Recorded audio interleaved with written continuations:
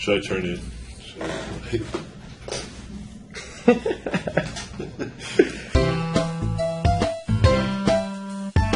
What's up, guys? Um, so I decided to do. I want to try to do a, a thing regularly, and one of the things is like give out advice and uh, also help you guys with understanding kind of study patterns that I may use or work towards um, to get stuff done. Um, and so the kinds of things you guys will need to, to follow along with these things, these YouTube videos I'm going to be starting doing. Um, and I'll be doing this every video, but this video specifically, you'll need a sketchbook, any kind of sketchbook, a pencil, any kind of pencil, a, small Sharpie pen or something similar to that. Uh, something that basically has some thickness to it, and then so, uh, a big Sharpie pen. And that's pretty much it. You just need like pencil, pens, and that's it. I, and, and then I carry like extra couple pieces of paper because what I usually do is I'll put it underneath like sketchbook. Or if you only have sheets of paper, obviously, um, you can just double down.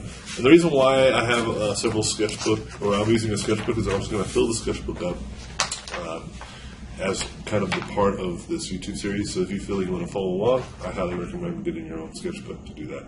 And then the book that we're going to be studying from today, uh, and it depends on how far I get through this, but I, what I'm going to be doing is I'm going to go through books, and I'm going to be studying from them. This one is the Mega Man Official Complete Works. It's pretty much all the Mega Mans, all of the Mega Mans. And so uh, I'm going to go through this later. But the way that I'm going to do these videos the first part of this video is going to be showing you guys some things that you guys can do as just exercises slash warm-ups to help you get better at your draftsmanship. And I'll be coming up with uh, things that you guys can be doing um, periodically. Um, so we'll just go ahead and switch over to that right now. Yeah. can I hear it? I can you're right.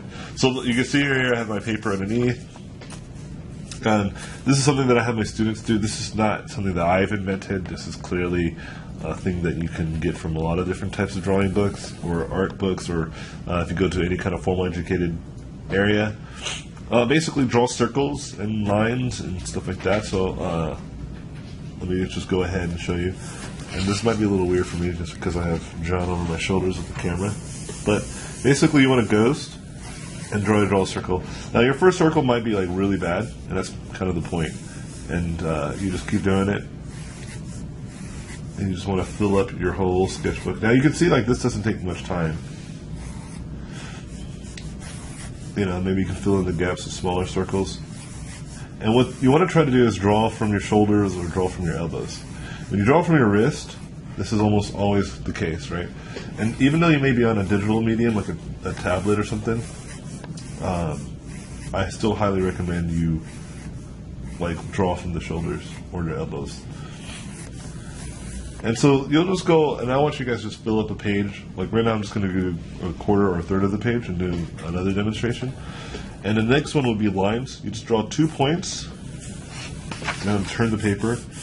And this might this might be actually hacks because you can't really turn the paper if you're using a tablet. You can't really turn your tablet, but you can rotate your canvas if you're using digital medium. Um, but since I'm using traditional, I, I almost instinctively want to just turn the page. But if you want to kind of still practice like the tablet, what that feels like, then do it without rotating. It's going to be more, much more difficult, but it's good practice anyway, um, because it will teach you how to draw with the tablet uh, when you're drawing it facing forward. Because you can't really move the tablet, and so you want to test it. You want to test different strategies in terms of drawing. See, like I missed, but it's okay. I, I kind of can gauge what I did wrong. I can feel that. See, I, I adjusted it and I fixed it. And see, what this is doing is, is getting your brain practice on terms of how to draw straight lines. And you want to try all kinds of things. So you sometimes don't just think about always going like left to right. You can always go right to left if that feels more natural. See, that was really bad. That was bad too. And so I can see that I'm keep going to the right, so I'm going to think about going to the left. And see, and and you're not going to get it right away. Obviously, if you keep practicing this, um, it's going to help. But you want to just keep doing this and quantify. You want to quantify your lack of effort, or I'm sorry, you want to quantify your failure. You want to see how much you failed, so that way you can adjust accordingly. You want to think about that failure. You want to think about these circles too. Like, what is it about the circles that are like oblong, like like the bottom right and the top uh, right, are kind of oblong on some of these, right? So maybe I should think about arcing, getting better at arcs right here. And so you can practice that, or maybe you can try to think about it like this, you know? So maybe drawing a circle in this direction might be better. And you can already see I, I immediately got much better results. And see, but like for whatever reason that kicked up, and I think that's because like there's no paper. And so, uh, what we go over here? No, see? So this is not the paper's fault then. There's something that I'm doing. But like I never draw in this circumstance, but I'm noticing there's a little bit more roundness though. And so maybe I can try to, uh, wait, try to draw a perfect circle by doing like kind of a parentheses approach. So that could be a thing. But you want to just practice these. And then here's another thing that you guys can do in terms of strategies, um, getting better with draftsmanship. You want to try to draw an arc. You make three points, and then you draw an arc. Again, these are things I've learned from like uh, watching Scott Robertson videos and stuff like that. And these ones are always hard for me. And you want to ghost. Ghosting is a good practice. But sometimes you can't ghost with Photoshop because it's hard to tell kind of your hand your hand-eye coordination, what's going on. Whoops. There you go. Don't you laugh, John. Don't you laugh at me. You fool. Oh, you son of a bitch. So, you want to change up the, like, the anchor points, so you want to, like, make it, like, much harder, like a Nike logo, like a really short curve. And see, this is hard because I can't even see it, right? It's much easier when I'm in Photoshop. Yeah, see, it's rough. See, I was about, like, a good centimeter or two off. But you can see this is good practice. Now with the tablet, like a lot of these straight lines can be just handled by just holding shift or whatever, but sometimes you have opacity to it or whatever.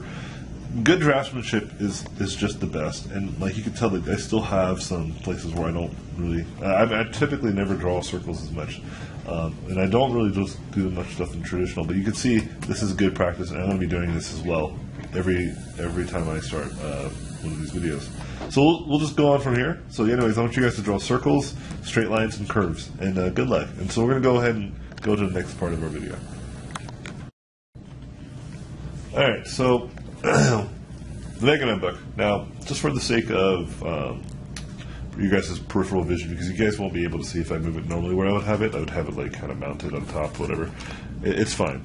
This is just a demonstration, just to kind of show you guys my study patterns. And this is the book that I'm going to be studying from. And uh, this is going to change, obviously, depending on the books. But my my um, my methodology to studying is pretty much the same every time. But it's going to be a little bit different. So maybe you have this book and you're like having a hard time learning from it. Um, maybe you can watch this video. It'll give you some insight on how I go about it. So the first thing I usually try to find is evidence of sketching. Um, in any kind of good art book, they will have some evidence of that. And you can see right here, there's a really nice like sketch line. So this what this does is it gives me insight into that he roughs it in, and he probably doesn't do a or he or she does not do a crazy like drafted like they don't do this first. They don't like you know draw construction lines and then they go on top of that construction line, you know, with a more elaborate line, whatever the case may be. Um, I mean, they might. You know, you want to look through here and see if they do. Like, see, now it looks like they pretty much just draw everything. And so, and then if you look over here, see on this page actually, you can see there's a little bit of that sketching. Like it's kind of loose, but it's it's still pretty functional. It's still form fitting. And when I'm using the word form fitting, I mean like I can see the object's form. you know, if you look at the swords over here, you can see that too. And these are kinds of things I pay attention to. I look at this drawing, even though it's rendered out, this has evidence of looseness and um, draftsmanship uh, removed. Like there's, it's still very clean, but like it's removed of like real um, clean lines. If you look at this, this is clearly a much better drawing. And so I try to avoid these types of drawings until I understand how this drawing is made, because this is usually and always the fundamental part of this artist's drawing pattern is that they do this.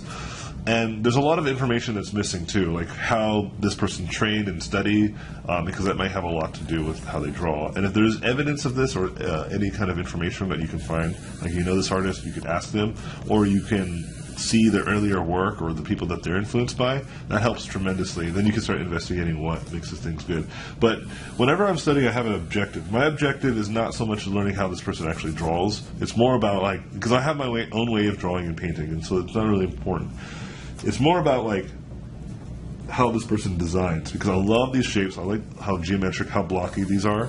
you know, and I want to learn more about them. So I want to look at one that I feel is simpler, something that I can like wrap my mind around um, immediately. So this character is nice, but she's simple, but she's not. There's not a lot of form. Um, it's not really extruded like some of the other ones. So let's just keep going. We'll just keep exploring. And this is good to notice too. Like you don't just stop at the first image you find. You know, you, you try to find something that you can you can try to help your brain like organize. Um, sometimes, oh, here we go. This is perfect. So this elephant dude is where I'm going to start. He's on the right. Oh, and the guy right next to it too. This golem, sweet. And so this is great. There's like little drawings and stuff like that. And so uh, I have a pencil and a large sharpie, and I'll explain what you can do with them. But right now, I still start like this. Pretty much is going to be the only one I'm going to use for quite a while. So the first thing I'm going to do is try to do it like he does, or, or she, right?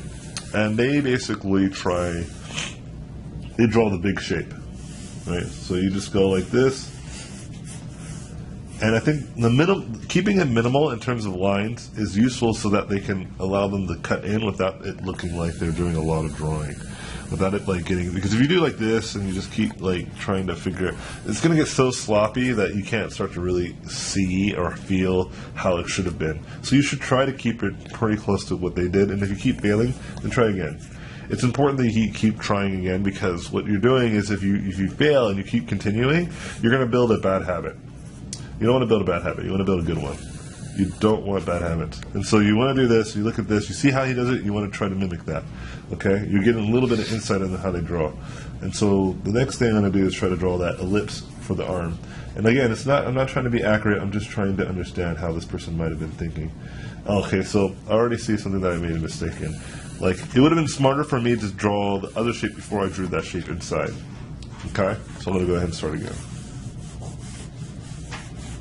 So before I draw the pivot or the the entry level, like or this, like basically the socket, before I draw what's in there, because I can see through, so it's it's it's obvious to me. But what's important is that I start to extrude out, and this is probably how this artist did too.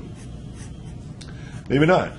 You know, I, I don't know 100%. And so I'm drawing this curve too to represent kind of like because it's it's hard to represent this kind of uh, like turn uh, when it's like slow like mostly we're looking straight on. So if you just draw a kind of a curve that represents this turn it usually does a good job of representing and you can see the artists did it themselves you know and then they use lighting with the painting to kind of show that sharp turn which is great. It's good it's clever. And so you can see like when i'm when i'm studying i'm like thinking about all of this and I think that's the number one problem that people run into is that they're not thinking. They're just doing, they're just copying it and not even analyzing. They're not trying again. You know, whenever you have an experiment, you come, you come up with a hypothesis, you try to build a system, and then you experiment. If the experiment fails immediately, you start over. You don't continuously try to fix this failure. You, you adjust accordingly, just like the lines. And so now I'm going to draw this over here. And since I don't have lighting, I'm going to kind of represent that there is some sort of cross right there. Um, another thing is that this person is, drew like a really beautiful kind of like um, like collar where it's like like comes in and out constantly. So there is no construction lines for this. So either this person like just is badass and just knows how to do that, or maybe they did have like a pencil drawing in which they showed them to do that. And so I'm thinking, okay, how could I draw that same thing without necessarily screwing it up? And this is when a, a pencil comes into to the factor. Is when you see some something that seems a little bit too difficult for you to attach attack right away, you try to just do it in a loose way. And all I'm going to do here is use this as a guide. You know, and just try to find places where I can do this. And so then I can use that, and it's going to make it so much easier. Oh, see, I already made a failure again. I should have extruded that. I was thinking of the spacing of these, and I realized, oh, actually, you know, I, I think I'm okay. No, no, I'm not okay. So this is a failure. And here's the beautiful thing about starting over and drawing again you just get better at it. You start to understand this one drawing that much more. Instead of copying it once, you're, you're copying parts of it several times.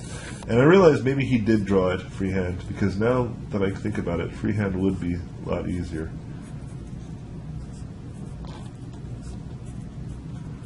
But it wouldn't be 100% accurate though. And he draws lines to uh, represent bevels. and then there's like a bunch of rings. So this is going to be hard, and it's going to represent. It's going to teach me how to draw, perhaps these ellipses. Now let's pop out this piece, and I'm lucky that I found this drawing. Sometimes you don't find a really nice drawing that's easy to kind of start wrapping your brain around, and that sucks because then you have to deal with like the most difficult of drawing to study from. Um, but that's that's okay. If that happens, which I'm sure one of these videos I eventually will run into that problem. I'll, you'll see me demonstrate that as well. What's going on, John? Just unraveling. Adjusting. So, like here, here's another situation where I, I shouldn't have drawn ahead. See this trunk. This trunk is like a whole different piece. But I want you guys to take, take a notice of this. Look how bad my drawings are. Like, look how awful they are. They're not very good, right? You're like, well, I'm not impressed. Well, that's the point. You know, if this looked good, that means I already know how to draw like this. This means I already know how to design uh, in this world. But since I don't, um, it's going to look bad. I mean, some things may look good, like my, the way I'm drawing my lines may feel pretty confident or feel. That stuff is like the stuff that I showed you guys before, which is the circles and lines. That's the stuff that allows you to draw with confidence or study with confidence, not worrying about that. Your at least your draftsmanship, like at least you could draw a circle, right, or you can draw a curve. Those things you can practice without studying. You can just just keep drawing circles and lines and curves constantly until you do. And so I'm going to look at this trunk and just see how this person did it. So maybe they just did like a shape, and then they do kind of like what I do with painting. Instead of seeing its dimensionality, they designed its dimensionality in the line art. And I think that's a clever thing that I see a lot of my favorite line artists do this often. And see, and I'm going to try to draw this and understand this in my own perspective. Like I'm trying to turn it. So I'm not necessarily drawing what I see on there. I'm just trying to draw what I think I could have done with it and build my own three-dimensional shape based off or inspired by this design. You know, I'm not trying to mimic anymore. I'm trying to uh, understand. And sometimes understanding doesn't require you to full on draw exactly what you see, but try to draw it in a different perspective.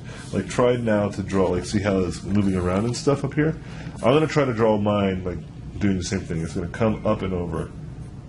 Right? I'm gonna draw kind of a shape that I think it could represent, and now try to draw from here. And this is gonna be quite difficult, but I think you can do it. And if this is not easy to you, you need to start over, right? You need to reevaluate why it's not easy. But this is okay. Like I said, it's not as difficult, or at least it may not appear as difficult for me, because I have some sense of three-dimensional shape. And I realize to really sell this whole shape, this shape needs to look like this.